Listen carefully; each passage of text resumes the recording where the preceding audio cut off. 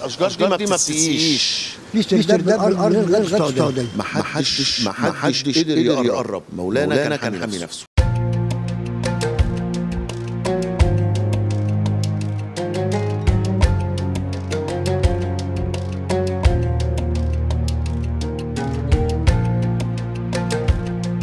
جده الرسول عليه أفضل الصلاة والسلام ومدفون هنا في مصر لكن محدش يعرف مكانه.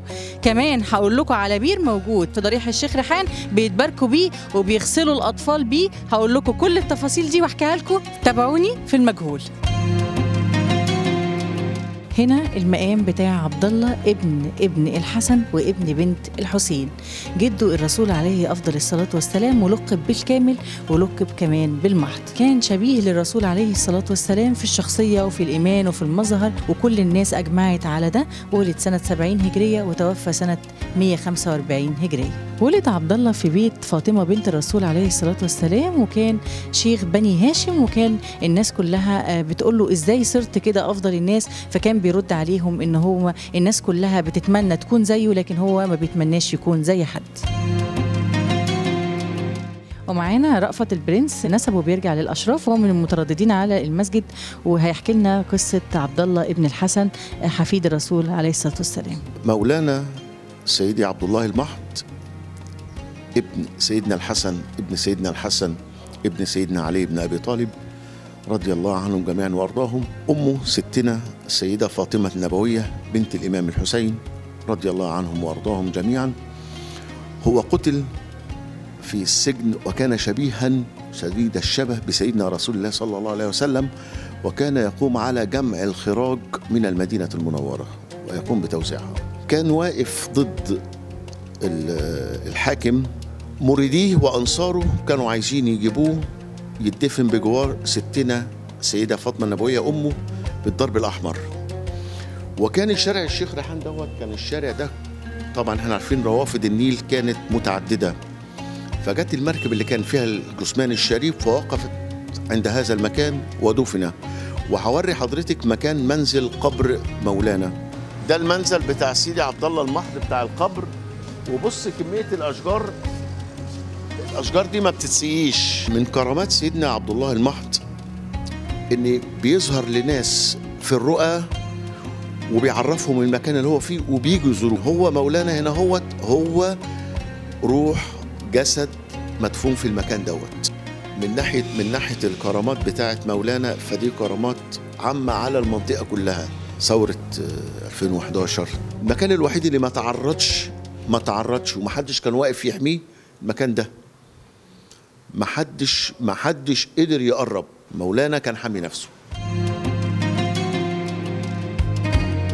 عبد الله بن الحسن كان بيجمع الخراج وكان على خلاف شديد مع الخليفة جعفر المنصور الهاشمي. وصل الأمر إن هو حبسه ومات في الحبس أو قتل. زي ما قالوا إن هو موجود في بغداد وإن هو اتدفن هناك. لكن الحقيقة إنه جه هنا في مصر عشان يدفن بجانب والدته فاطمة النبوية وجه دفن في هذا المكان.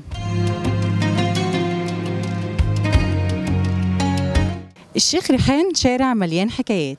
الشيخ ريحان هو سبب تسمية الشارع بهذا الاسم وهو مين أصلا؟ الضريح بتاعه زي ما أنتم شايفين هو موجود هنا في حارة ضيقة جدا في الشيخ ريحان وهو من أولياء الله الصالحين ومن نسل علي بن أبي طالب ومن نسل الرسول عليه أفضل الصلاة والسلام. ضريح الشيخ ريحان كان فيه بير بيغطسوا فيه الأطفال عشان يشفوهم من الأمراض واللي عنده أي مشكلة كانت بتتحل بمية البير ده من البركة بتاعتها وكان البير ده بيعملوا للأطفال حاجة زي التعميد الموجود في المسيحية كده إن هم يغطسوا الطفل وياخدوا البركة. لكن دلوقتي بيقولوا إن البير ما بقاش المية فيه زي الأول مية نقية ونضيفة وإنه دخل عليها مية من مية المجاري فبدأت الناس إنها تبعد عن شرب مية البير. ومعانا الشيخ حسين هو هنا مولود هنا ومعاصر للشيخ ريحان وهيحكي لنا بقى على البير وعلى البركات اللي الناس بتاخدها منه. الشيخ ريحان الله يرحمه كان بيحب الأطفال بيحب الأطفال. كان بيجي الكرسي هو في الحتة دي يقول لك إيه آه هاتوا له مية هاتوا له بتاع. فالمية جت تتدلدق. يعني الطفل بيجيب جاب مية جت تتدلدق. فطلع بقى إيه البير ده. كان بير يخش فيه إيه بيجيبوا الأطفال يش- يشطفوها بس. يشطفوا الأطفال من البير اللي هي إيه الجوفية المية الجوفية بتاعت ال واخد بالك انت وبعدين يدخلوا من إيه المقام هنا يصلوا عليه. بيطلع ما شاء الله عليه يعني بركة ما هو ده البير بركة. ما هو جوفيه آه بس بركة. شيخ عماد الدين عماد الدين ذات نفسه. فكان بيحج. لما جه يحج فكانت أمه أم أم جا- أم أم عماد الدين كانت هنا. قالت له الحاج عاوز إيه؟ ملوخية. ده في السعودية. هو طالب ملوخية. البيه هيروح له بالملوخيه قال لها اعمليها ومالكيش دعوة انت أنا هوديها له. عملت الملوخية في سرداب بالارض من هنا لغاية السعودية. فلا جاء قال الله. انت جيت الله كان انبسط خد بعضه ورجع تاني. كده طبعا عمل له مولد هنا. مولد جامد يعني.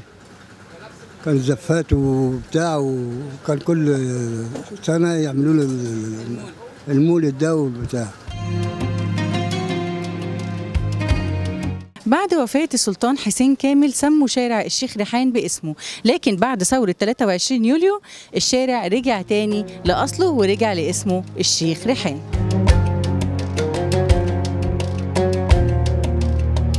استنونا في حلقة جديدة ولغز جديد أول مرة هتسمع عنه في المجهول.